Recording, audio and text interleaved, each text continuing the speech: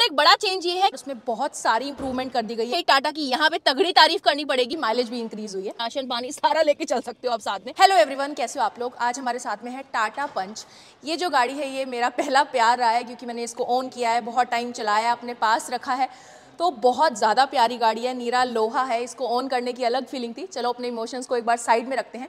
तो आज हमारे साथ में है टाटा पंच प्योर अभी टाटा क्या कर रहा है? पंच प्योर के ऊपर एक रिदम पैक दे रहा है। उस पैक में ना आपको एक्स्ट्रा एडिट ऑन फीचर्स मिलते हैं। ऑलमोस्ट ऑन रोड बात करूँ तो चालीस के करीब आपको एक्स्ट्रा पे करने पड़ते हैं और कुछ चीज़ें आपको एक्स्ट्रा एडिड मिलती है। तो आज मैं आपको वही बताने वाली हूँ कि पंच प्योर के ऊपर जो पंच प्योर रिदम पैक आ रहा है, उसमें आपको एक्स्ट्रा क्या क्या मिलता है। पंच में ना पावर भी बढ़ा है टॉक भी बढ़ा है और इसके अलावा माइलेज भी इंप्रूव हुई है और क्या क्या चेंजेस हुए हैं वो मैं आपको डिटेल में एक्सप्लेन करने वाली हूँ। स्टार्ट करते हैं इसकी फ्रंट प्रोफ़ाइल से। सबसे पहले अगर आप ये वाला स्पेस देखेंगे तो यहाँ पे आपको इंडिकेटर के लिए एक बल्ब मिलता है एंड यहाँ पे भी आपको एक बल्ब भी मिलता है। टॉप मॉडल में देखोगे तो यहाँ पे प्रॉपर डीआरएल आ जाता है। अगर आप इसकी हेडलम की यूनिट देखोगे ना तो इस वाले वेरियंट में आपको यहाँ पे एक हेलोजन बल्ब भी देखने को मिलता है। टॉप वाले वेरियंट में आपको एक प्रोजेक्टर और एक हेलोजन का कॉम्बिनेशन देखने को मिल जाता है। नीचे अगर आप यहाँ पे देखोगे तो यहाँ पे आपको फॉग लैम्प वगैरह कुछ नहीं मिलते। इसको पूरा कवर कर रखा है बट अगर आप लगवाना चाहते हो तो easily after market as an accessory Tata से भी परचेज कर सकते हो। अगर आप इसके ग्रिल पोर्शन को देखोगे तो पूरा का पूरा पियानो ब्लैक फिनिश में देखने को मिलता है। जिसके ऊपर टाटा का बड़ा सारा लोगो मिल जाता जाता है। एंड ये वाला जो पूरा एरिया है, ये भी आपको ब्लैक में ही देखने को मिलता है। इस वाले एरिया में ना ट्रायर आपको देखने को मिलते हैं। तीन यूनिट्स है और इसके अंदर ना हॉर्न है। तो इसको कटआउट इसलिए रखा गया कि मतलब हॉर्न अगर बजे तो और ज़्यादा अच्छा साउंड करे क्लियर साउंड करे। नीचे वाला अगर आप पोर्शन देखेंगे तो ये पूरा आपको रफ ब्लैक में देखने को मिलता है रगेज सी फील ऐड करने के लिए। यहाँ पे भी पूरा ट्रायरो का पैटर्न आपको देखने को मिल जाता है एंड यहाँ पे भी। अगर आप इसकी लुक्स भी देखोगे ना तो देखने में ये बहुत ही ज़्यादा बल्कि बल्कि सी लगती है, अपने साइज़ से ज़्यादा बड़ी लगती है। देखोगे ना तो आपको ऐसा बिल्कुल भी नहीं लगेगा कि ये हैचबैक साइज़ की गाड़ी है, क्योंकि अपने साइज़ से बहुत बड़ी लगती है देखने में और सुंदर तो वैसे भी लगती है। तो बात करते हैं इसकी साइड प्रोफ़ाइल के बारे में। सबसे पहले ना, यहाँ पे आपको 15 इंच का टायर साइज़ देखने को मिलता है एंड टायर सेक्शन है 185 70 आर 15 का।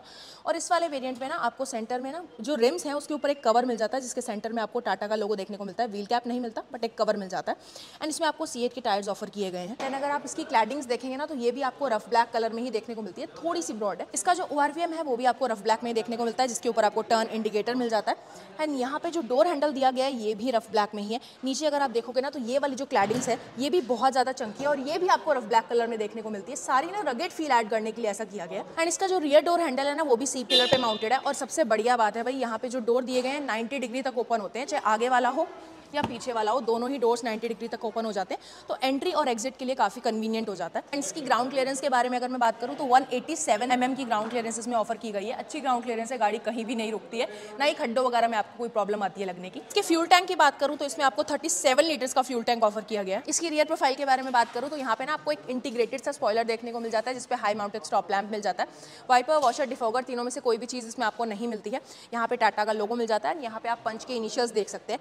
देन इसका जो टेल लैम्प्स है ना, उसके अंदर आपको एलईडी टेल लैम्प्स नहीं मिलते ट्रायरो डिज़ाइन में ही है ये भी। फिर इंडिकेटर की यूनिट देखोगे तो इसमें भी आपको एक नॉर्मल बल्ब ही देखने को मिलता है रियर में। यहाँ पे आपको जो रिफ्लेक्टर मिलता है, उसके पास में आपको ट्रायरो पैटर्न देखने को मिलता है। यहाँ पे मिल जाती है आपको reverse light attention to detail देखो, यहाँ पे आपको एक राइनो एनग्रेव मिलेगा। एंड नीचे आपको यहाँ पे दो रिवर्स पार्किंग सेंसर्स भी मिल जाते हैं। रियर पार्किंग कैमरा वगैरह इसमें नहीं मिलता आपको। और बोट अनलॉक करने के लिए यहाँ पे आपको एक बटन मिल जाता है। ये बढ़िया बात है, आपको बेस वेरियंट से ही बटन मिल जाता है, वरना वो चाबी से अनलॉक करना आजकल अच्छा नहीं लगता। देन यहाँ पे आपको बेस वेरियंट से ही पार्शल ट्रे भी मिल जाती है, बढ़िया बात है। सबसे बढ़िया बात है कि बेस वेरियंट से आपको ये पंचर रिपेयर किट भी मिल जाती है। एंड बूट स्पेस के बारे में बात करूँ तो इसमें ना आपको 366 लीटर का बूट स्पेस मिलता है, जो कि इस गाड़ी के साइज़ के हिसाब से बहुत अच्छा बूट स्पेस है। एंड यहाँ पे आपको दो हुक्स मिल जाते हैं आइदर साइड्स पे तो कुछ हैंग वगैरह करना हो तो आप कर सकते हैं। देन स्पेयर व्हील के बारे में अगर मैं बात करूँ तो यहाँ पे आपको जो स्पेयर व्हील मिलता है ना, वो भी आपको सेम डायमेंशन के साथ ही मिलता है। इसके ड्राइवर साइड डोर के बारे में बात करूँ तो यहाँ पे ना आपको ब्लैक एंड व्हाइट का कॉम्बिनेशन देखने को मिलता है। एंड जो फ्रंट वाली विंडोज़ है, वो पावर कंट्रोल्स के साथ आती है, जिसमें से ड्राइवर साइड ऑटो है। अब पीछे वाली विंडोज़ में आपको मैनुअली एडजस्ट करना पड़ता है, वो हेलीकॉप्टर वाला ये देखो इस तरह से। नीचे ना यहाँ पे आपको मिल जाता है बॉटल होल्डर और एक अम्ब्रेला होल्डर भी यहाँ पे आपको मिल जाता है। यहाँ पे अगर आप देखेंगे तो आपको स्पीकर मिल जाता है। अब मैंने यही आपको चीज़ बताई थी कि रिदम पैक है तो इसमें एक्स्ट्रा चीज़ें मिलती है। इसमें आपको फोर स्पीकर भी एडेड ऑन मिल जाते हैं। यहाँ पे अगर आप देखोगे तो ट्विटर के लिए आपको हॉलो स्पेस दी गई है, जिसके अंदर ट्विटर नहीं है। एंड यहाँ पे ओ के कंट्रोल्स वगैरह आपको कुछ नहीं मिलते, आपको हाथ से एडजस्ट करना पड़ेगा। मेरे हिसाब से एटलीस्ट एक डूडल वगैरह तो इसमें दे देना चाहिए। एंड ये जो डोर हैंडल है आपको पियानो ब्लैक फिनिश में देखने को मिलता है। ऑल्सो अगर इसका स्पीकर आप देखेंगे तो उसके ऊपर ट्रायरो पैटर्न आपको नज़र आएगा। एंड ये जो व्हाइट देख रहे हो, इसके ऊपर भी ट्रायरो पैटर्न है, ध्यान से अगर देखोगे तो। इंटीरियर की बात करूँ तो यहाँ पे आपको जो ड्राइवर साइड सीट मिलती है, वो मैनुअल एडजस्टमेंट के साथ ही मिलती है, जिसमें हाइट एडजस्टमेंट आपको नहीं मिलती है। एंड यहाँ पे आप देख सकते हैं आपको ड्राइव मोड का बटन मिल जाता है ये ऑटो ऑफ़ का बटन है। अब मैं इसके कैबिन में आके बैठ गई हूँ, इसके स्टेयरिंग व्हील की बात करूँ तो यहाँ पे आपको बहुत ही प्यारा सा डी कट स्टेयरिंग व्हील देखने को मिलता है, जिसके ऊपर ये वाला एरिया अगर आप देखेंगे तो आपको ग्रेसी फिनिश में देखने को मिलता है। एंड ये लेदर ऐप वगैरह कुछ नहीं है ऑफकोर्स बेस वेरियंट है। देन यहाँ पे आपको टाटा का लोगो देखने को मिल जाता है। एंड रिदम पैक में आपको एक्स्ट्रा क्या मिलता है, यहाँ पे आपको स्टेयरिंग माउंटेड कंट्रोल्स मिल जाते हैं। यहाँ पे आपको कॉल रिलेटेड कंट्रोल मिल जाते हैं, बाकी सारे इन्फोटेनमेंट के कंट्रोल आप देख सकते हैं। यहाँ पे अगर आप लेफ़्ट साइड देखोगे तो वाइपर के कंट्रोल्स है, दूसरी साइड आपको हेडलैम्प के कंट्रोल्स मिल जाते हैं। और ये जो स्टेयरिंग व्हील है, ये टिल्ट फीचर के साथ आता है टेलीस्कोपिक एडजस्टमेंट इसमें आपको नहीं मिलती है। इसके इंस्ट्रूमेंट क्लस्टर के बारे में अगर मैं बात करूँ ना तो बेस वेरियंट के हिसाब से इसका इंस्ट्रूमेंट क्लस्टर मुझे काफ़ी ज़्यादा प्यारा लगता है। यहाँ पे आरपीएम मीटर एंड स्पीडोमीटर आप देख सकते हैं एनलॉग में सेंटर में आपको एक डिस्प्ले मिल जाती है, जिसमें गाड़ी में कितना फ्यूल है वो आप देख सकते हैं। देन इंस्टेंट फ्यूल इकोनॉमी आपको दिख रही होगी, नीचे ऑडोमीटर आप देख सकते हैं। देन यहाँ पे अगर आप देखोगे तो आपको इंजन टेम्परेचर भी नज़र आ रहा होगा। और यहाँ पे आप देख सकते हैं सेट और मोड के बटन दिए गए हैं, जिससे आप एडजस्ट कर सकते हैं। यहाँ पे आपको एवरेज वगैरह नज़र आ जाएगी। वैसे अगर आप देखोगे ना तो बेस वेरियंट के हिसाब से जो इंस्ट्रूमेंट क्लस्टर ना प्रीमियम लगता है। पीली लाइटें वगैरह नहीं है व्हाइट लाइट्स है, देखने में भी काफ़ी सुंदर लगता है। अब अगर मैं इसकी सीट्स के बारे में बात करूँ तो यहाँ पे आपको ना ऑल ब्लैक में फैब्रिक सीट्स देखने को मिल जाती है। भाई फैब्रिक सीट्स बहुत ज़्यादा कंफर्टेबल होती है। सिंपल डिसेंट सा डिज़ाइन आपको देखने को मिलता है एडजस्टेबल हेडरेस्ट के साथ में। तो ठीक है सीट्स आपको यहाँ पे कंफर्टेबल मिलती है और साइड में ना आपको यहाँ पे सपोर्ट भी मिल जाता है। तो होल्ड करके रखने वाली सीट्स है। अब जैसा कि आप लोगों को पता है, मैंने पंच ओन की है, दस बारह हज़ार किलोमीटर मैंने उसको चलाया भी है। तो कंफर्ट वाइज मुझे कभी भी कोई प्रॉब्लम नहीं है। इसके ग्लव बॉक्स के बारे में बात करूँ भाई, इसका ग्लव बॉक्स देखो तो सही, सबसे पहले तो सॉफ्ट ओपनिंग के साथ में आता है, उसके ऊपर से इतना स्पेशियस है ना भाई, राशन पानी सारा लेके चल सकते हो आप साथ में।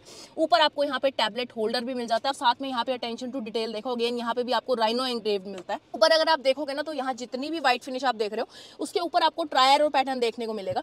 एंड यहाँ पे भी आपको ग्रे कलर में ब्रश सी फिनिश देखने को मिलती है तो इसका जो इंटीरियर है ना, वो काफ़ी ज़्यादा एलिगेंट सा है देखने में। इसके जो एसी वेंट्स है, उसके सराउंड में आपको पियानो ब्लैक फिनिश देखने को मिल जाती है। एंड डैशबोर्ड की बात करूँ तो यहाँ पे प्लास्टिक यूज़ किया गया बट उसकी क्वालिटी बहुत ज़्यादा अच्छी है। और एक बड़ा चेंज ये है कि रिदम पैक में आपको 3.5 इंच का इंफोटेनमेंट सिस्टम मिल जाता है। अब अगर आप सोच रहे हो कि ये टच है तो टच नहीं है। इसके सारे बटन कंट्रोल्स आपको यहाँ पे देखने को मिलते हैं। ऑल्सो यहाँ पे भी आपको कंट्रोल्स मिल जाते हैं इन्फोटेनमेंट के। तो यही कुछ एडिड चेंज है। अगर आपने एक्स्ट्रा पैसे स्पेंड किए तो एक तो आपको इन्फोटेनमेंट मिल जाता है, सारे कंट्रोल्स वगैरह आप देख सकते हैं स्टेयरिंग माउंटेड कंट्रोल्स भी मिल जाते हैं।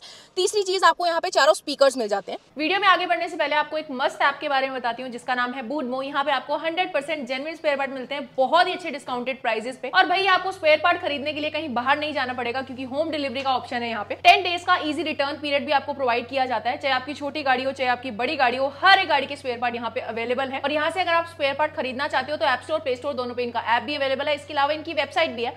आप जहाँ से चाहो, वहाँ से परचेज कर सकते हो। तो अगली बार जब कभी आपको स्पेयर पार्ट परचेज करने हो तो स्पेयर पार्ट एक्सपर्ट बूडमो को चूज़ करो। अब एसी की बात करूँ तो भाई टाटा की यहाँ पे तगड़ी तारीफ़ करनी पड़ेगी, क्योंकि दिया तो इन्होंने मैनुअल एसी है बट देखने में कंट्रोल से बिल्कुल भी नहीं लगता कि ये मैनुअल एसी है। किसी से भी अगर आप पूछोगे ना तो इसके कंट्रोल्स इतने प्यारे दिए गए हैं कि देखने में लगता ही नहीं है। सामने वाला यही कहेगा, जैसे ये देख लो फ़ैन के कंट्रोल्स देख सकते हैं आप, कितने डिसेंट से हैं देखने में। और तो इसकी जो कूलिंग है, मुझे लगता है वो भी ना टाटा ने वोल्टास वाला एसी इसमें फिट कर दिया क्योंकि बहुत ही ज़्यादा अमेजिंग है। कंट्रोल्स वगैरह आप देख सकते हैं, बड़े ही प्यारे हैं।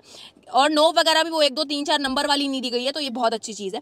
नीचे अगर आप यहाँ देखोगे तो यूएसबी की डायरेक्ट कनेक्टिविटी आपको मिल जाती है ये वाला पूरा स्पेस क्लोज है।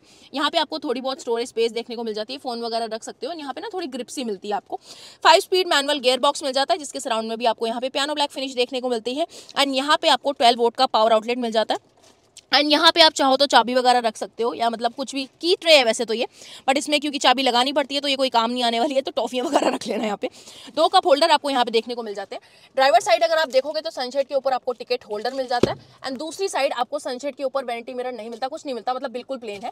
कैबिन लाइट की बात करूँ तो यहाँ पे आपको एक हेलोजन कैबिन लाइट देखने को मिलती है। और ये चीज़ यार मेरे को ना बिल्कुल अच्छी नहीं लगती, क्योंकि ये डोर पे ही रहती है। अगर डोर खुला है तो मजाल नहीं है कि ये बंद हो जाएगी, चारों दरवाजे बंद ही करने पड़ेंगे, तब जाके बंद हो जाएगी। वैसे कोई प्रॉब्लम नहीं है, बस मैं चाहती हूँ कि इसमें ना ऑन ऑफ़ वाला एक एक्स्ट्रा बटन भी एड ऑन हो जाए। आईआरवीएम की बात करूँ तो यहाँ पे आपको एक नॉर्मल आईआरवीएम दिया गया है, छोटे साइज़ का। तो अभी मैं आके बैठ गई हूँ पंच के रियर कैबिन में।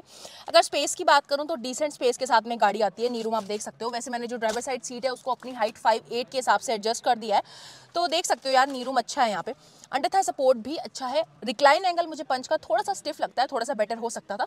हेडरूम भी आपको यहाँ पे अच्छा दिया गया अगर आप छह फीट के अराउंड हो तो आपको कोई प्रॉब्लम नहीं आएगी, आपका हेड टच नहीं होने वाला है। तीन लोगों के बैठने के बारे में अगर मैं बात करूँ तो अगर आप इसका फ्लोर देखेंगे ना तो ऑलमोस्ट फ्लैट सा है तो तीन लोग आराम से पैर रख सकते हैं। पैर रखने में दिक्कत नहीं आएगी।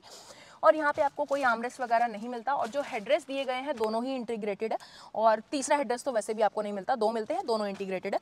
और कैबिन में लाइट्स की बात करूँ तो सिर्फ़ एक फ्रंट में आपको कैबिन लाइट मिलती है हेलोजन है। यहाँ पे कोई भी कैबिन लाइट वगैरह आपको नहीं मिलती है। बाकी यार अगर मैं ओवरऑल कंफर्ट वाइज बात करूँ तो कंफर्ट आपको अच्छा मिल जाता है। तो मेरे हिसाब से बेस वेरियंट के हिसाब से जो इसमें ऑफ़र किया गया है वो भी काफ़ी अच्छा है। अगर मैं इसकी की की बात करूँ तो यहाँ पे आपको बेसिक की देखने को मिलती है। कोई सेंटर लॉकिंग वगैरह इसमें नहीं मिलती, बस टाटा के लोगों के साथ में आपको दो चाबियाँ मिलती है। अगर आपको सेंटर लॉकिंग वगैरह चाहिए तो आप टाटा से एज एन एसेसरी परचेज कर सकते हैं। इसमें ना 1.2 लीटर का थ्री सिलेंडर इंजन आता है और उसमें बहुत सारी इंप्रूवमेंट कर दी गई है। पहले तो भाई जो प्रॉब्लम थी एनवीएच लेवल्स की, उसको इंप्रूव किया गया उसके साथ साथ पावर टॉक दोनों इंप्रूव हुए हैं। पावर की बात करूँ तो पहले ना इसमें एटी थ्री की पावर आती थी, अब एटी फाइव की पावर आती है।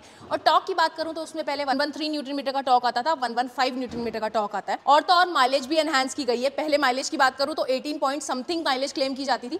अभी ट्वेंटी पॉइंट समथिंग की माइलेज क्लेम की गई है। शॉर्ट अगर बात करूँ ना तो दो बी की पार बढ़ी है। दो न्यूट्रन मीटर का टॉक बढ़ा है और दो किलोमीटर पर लीटर की माइलेज भी इंक्रीज हुई है। और इतना ही नहीं है, अब इसकी वारंटी भी इंक्रीज हुई है। अब इसमें आपको थ्री ईयर्स और वन लाख किलोमीटर की वारंटी मिलती है। तो ये था पंच प्योर का रिदम पैक अब रिदम पैक परचेज कर रहे हो तो approximately thirty five thousand to forty thousand आपको एक्स्ट्रा पे करने पड़ते हैं जिसमें आपको तीन चीज़ एक्स्ट्रा मिल जाती है। सबसे पहले तो थ्री पॉइंट फाइव इंच का इन्फोटेनमेंट सिस्टम मिलता है स्टेरिंग माउंटेड कंट्रोल मिल जाते हैं और चार स्पीकर आपको मिल जाते हैं। तो देखो यार, अगर आप इस किस्म के पर्सन हो जिसको आपको कंपनी से ही सारा किया हुआ काम चाहिए, आप नहीं चाहते कि आप अपनी गाड़ी बाहर खुलवाओ तो मेरे हिसाब से एक अच्छा ऑप्शन है, क्योंकि आप गाड़ी निकालोगे तो आप गाने सुन सकते हो। अदरवाइज़ अगर आप इसका बेस वेरियंट ऑप्ट करते हो तो उसमें स्पीकर्स इन्फोटेनमेंट कुछ भी नहीं आता तो गाड़ी अगर आप बाहर निकाल के लेके जाते हो, या मतलब इंस्टेंटली नहीं खरीदते ही आपको कहीं जाना पड़ता है तो पहले आपको काम करवाना पड़ेगा, गाने वगैरह सुनने के शौकीन हो तो। तो मेरे हिसाब से अगर आपको कंपनी से काम पसंद है तो डेफिनेटली इसको चूज़ करो। लेकिन अगर आपको लगता है कि आप अपनी गाड़ी बाहर से मॉडिफाई करवाना चाहते हो, या आपको कोई प्रॉब्लम नहीं है अपनी गाड़ी खुलवाने में तो फिर इसका प्योर वेरियंट आप चूज़ कर सकते हो। क्योंकि अगर वहाँ पे आप फोर्टी के करीब स्पेंड करोगे और आफ्टर मार्केट काम करवाओगे तो वर्दी ज़्यादा हो जाएगा। आप काफ़ी सारी चीज़ें करवा सकते हो फोर्टी थाउज़ेंड में। तो मेरी प्रेफरेंस अगर पूछो तो मैं प्योर लेके, जैसा आपको बताइए मैंने प्योर लेके पूरा अपना मॉडिफाई करवाया था तो मेरे हिसाब से वो एक बेटर ऑप्शन रहता है। बाकी कंपनी का काम चाहते हो तो फिर ये तो आपके पास अवेलेबल है ही। तो आज की वीडियो को यही पेंड करते हैं। आई होप आज की वीडियो आप सबको अच्छी लगी होगी। Bye bye